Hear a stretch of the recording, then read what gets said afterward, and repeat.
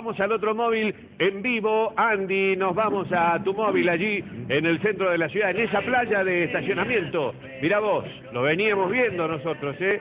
Se roban ¿Eh? los autos de las playas de estacionamiento. Sí, señor. Te vemos, te escuchamos, Andy. Dale, en vivo, desde el móvil. Te estábamos viendo recién. A ver si nos ponemos en contacto con nuestra unidad móvil. En vivo, buen día, buen día para todos. Buen día a los chicos allí en la mesa. Buen día. Buen día a los que están día. amaneciendo también en Córdoba, los que empiezan a recorrer las calles, a, bueno, transitar para sus respectivos trabajos. Nosotros vinimos hasta aquí, 25 de mayo 337. Aquí en esta playa de estacionamiento ayer vino Luis Caligari, ¿sí? Un vecino, un ciudadano eh, cordobés que vino a estacionar su auto, a hacer sus respectivos trámites. Estacionó en eh, el puesto número 13 que tiene esta playa de estacionamiento. Alrededor de las once y media, 11.40 de la mañana, estacionó su hora rojo ayer. Aquí dejó las llaves a los encargados para que se lo estacionaran. Eh, regresó a las 13 y 20 y se encontró con que su vehículo ya no estaba. La cuestión es que vino alguien, vaya a saber quién, 11.58 retiró este Bora, pagó los 14 pesos y se fue. Claro, cuando vino el dueño no estaba, Claro. se armó un terrible lío, ¿sí? La cuestión es que eh, aquí el auto no apareció y por supuesto el reclamo eh, es oportuno de parte de- del propietario de este, de este vehículo. Eh, un dato para aportar es que aquí hace un tiempo también había desaparecido una Hilux, según eh, las informaciones que, que trascendieron.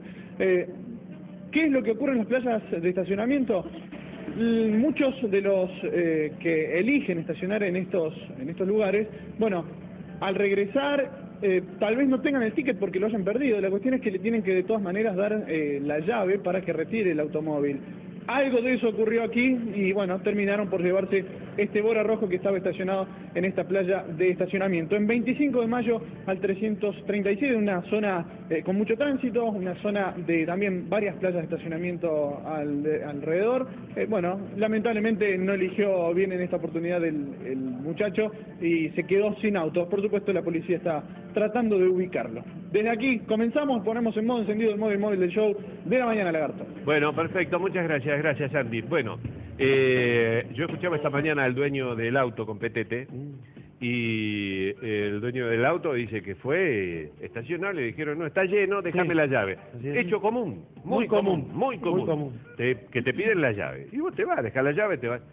Y se ve que alguien, cinco minutos después, fue y dice, bueno, me llevo el auto, sí, que patente, y le cantó la patente. Ay, no, por favor. Sí. y estaba viendo, porque obviamente sabe que estaba con la llave puesta, y el, el, el playero, pobre, se equivocó, no se dio cuenta, Sí. porque lo- Sí, la cantidad de autos que Ya hay. sabes, El mareado. error es habérselo dado sin el ticket. sin el ticket. Claro.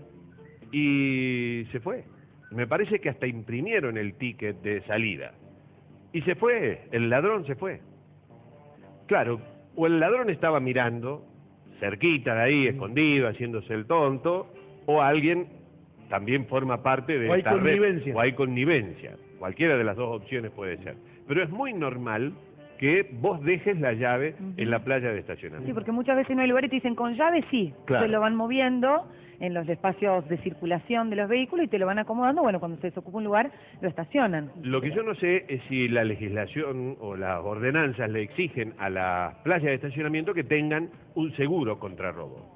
Eso yo no, no lo sé, supongo que debiera ser así. Que- Eh, que, que tienen que tener un, seguro contra robo para estar habilitada Y mínimamente. hay que ver si el seguro del, del dueño de Caligari, en este caso el dueño del, del auto, Del auto. le cubre. Le cubre. Porque él, dejó, él lo dejó y dejó la llave. Claro, porque hay una competencia allí. En, las, en los hechos que tienen o que sientan jurisprudencia para esto, que han sido robados en los estacionamientos de los hipermercados, hubo un cruce entre las compañías de seguro.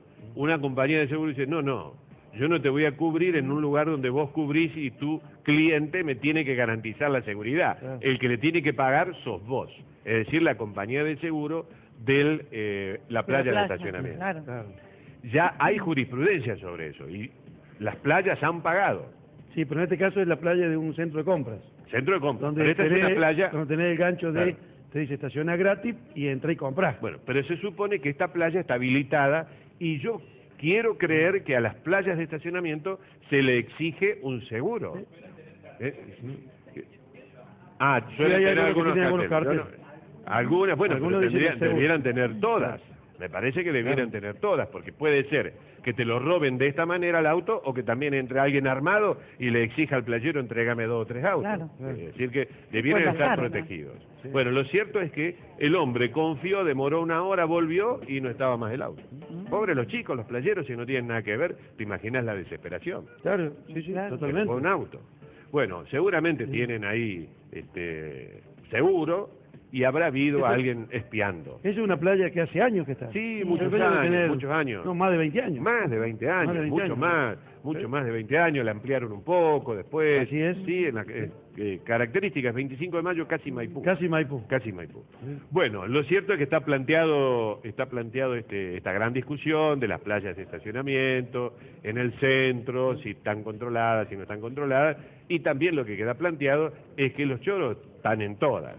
Están avivados de todas, están a la pesca. A lo mejor había uno en la puerta, Sí. leyendo el diario, mirando, este quedó con la llave, voy, lo apuró a lo mejor al cobrador y se llevó el auto. Me parece que esa playa, me parece que según lo que me, me sopla acá Daniel, es de el torito Leandro Paladín. Mm. ¿Sí? Uno de los socios sería Leandro. Ah, ¿te mirá. acordás que juega en Atenas? Sí, sí, sí, sí, Paladino sería uno de los socios dueños de esta, de esta playa.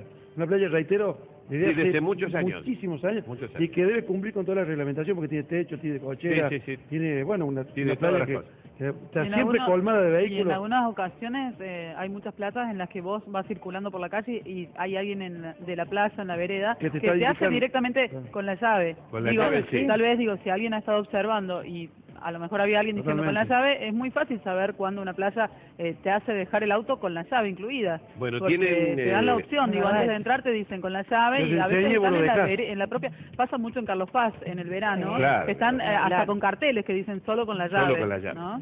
Bueno, hay, dicen que hay filmación, que hay, hay cámaras en esa playa, es posible que la policía al menos pueda detectar algo. Bueno, acá me informan que por ordenanza las playas de estacionamiento deben tener cámaras. Estoy averiguando ahora si deben tener Cámaras. seguro. Claro. Deben tener, por la, la ordenanza que las rige, que las controla, que eh, les obliga a tener cámaras. Estoy buscando acá a ver si puedo conseguir si habla del seguro Claro. obligatorio, que me parece a mí que debiera tener. Claro. Esta- Antes que cámara, seguro. Y esta tiene cámaras.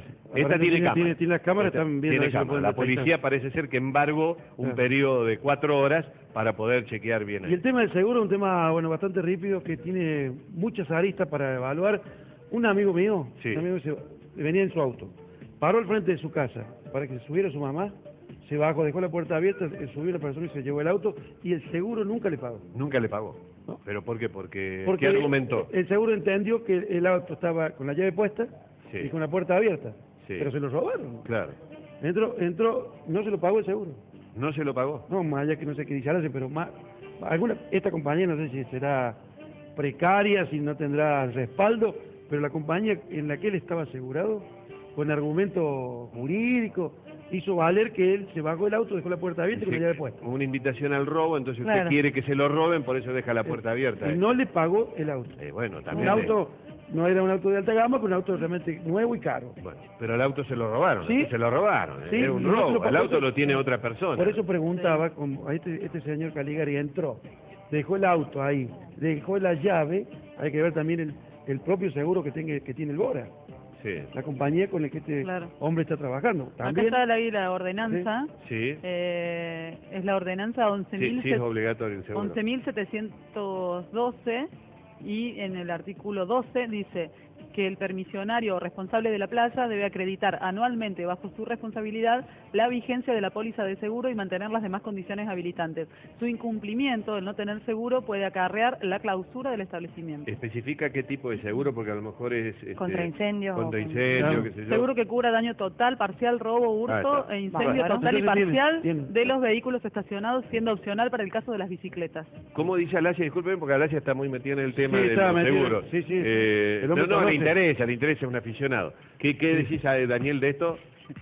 No, este, por lo que he averiguado, por lo que conozco, Sí, eh, normalmente las compañías de seguro tienen tres tipos de seguro. sí, Uno es la responsabilidad civil, civil, sola, Sola. que es el daño que uno hace contra terceros. sí. Cuando hay otro tipo de seguros, normalmente se hace robo total o parcial, ahí hay distintas características, incendio total o parcial. Sí, Y dentro de lo que se califica robo, robo y hurto, es lo mismo. Es decir, Jurídicamente no es lo mismo un robo que un hurto. El hurto es cuando te lo roban cuando no hay violencia y el robo sí hay violencia. Pero para las compañías de seguros siempre es robo y hurto.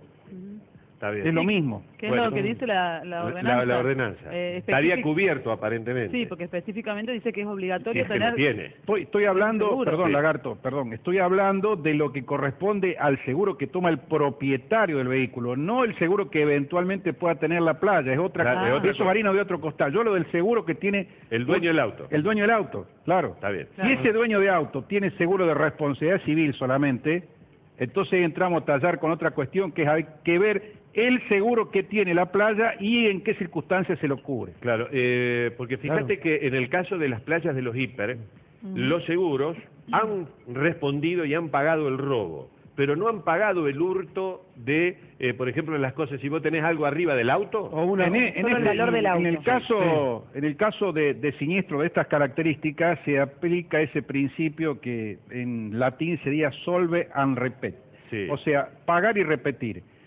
Teóricamente, el seguro, según que seguro sea, te paga a vos y después va contra el hipermercado eventualmente Sí. y le dice, acá robaron el auto a esta persona, tenías que haberlo cubierto vos.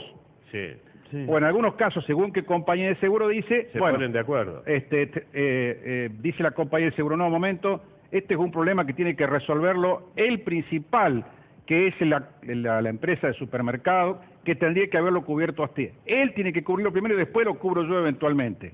Y de, entonces hay una disputa jurídica a ver quién tiene que pagar el seguro, si el dueño del supermercado o la empresa aseguradora. Pero más allá de eso, hay algunas empresas que pagan y después van contra La otra empresa. Contra el- el- O el- la compañía la que sí. corresponde al Está bien. supermercado. Bueno, acá vamos Bueno, a ver si el pero- hecho de jurídico, sí que dice algo No, más. digo que concretamente la ordenanza, eh, en cuanto al seguro de la que debe tener la plaza de estacionamiento, dice que es obligatorio, Obligatorio. contar con un seguro que cubra todo eso. Todo. Daño total y parcial, robo, hurto e incendio total o parcial de vehículos estacionados, siendo opcional para el caso de bicicleta. Está bien. Bueno, Digo, en eh, este caso, si la plaza Mm. eh, no tiene el seguro, está en problemas porque debería haber sido clausurada. Y si tiene el seguro, tiene que tener, según la ordenanza, obligatoriamente Obligatorio. un seguro que cubra, que Seguro. contemple todo esto.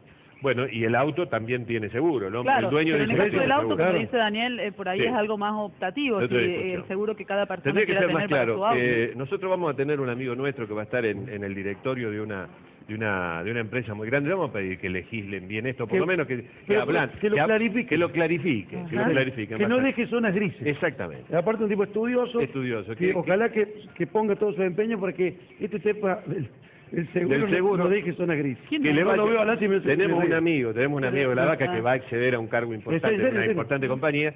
Entonces, para que para que pelee en beneficio de la gente. Así Sí, es. claro, Pues, en buena eh, hora. Y vuelvo a decir que, en serio, a mí, a mi amigo no le pagó el seguro el auto. No le pagó. No sé si era hurto, no sé cómo era, y tenía contra robo, y no, Oh. cuando le dijeron, vos dejate la puerta abierta, ya después no te, No te van a pagar. y no se lo bueno, pagan. bueno, voy a poner un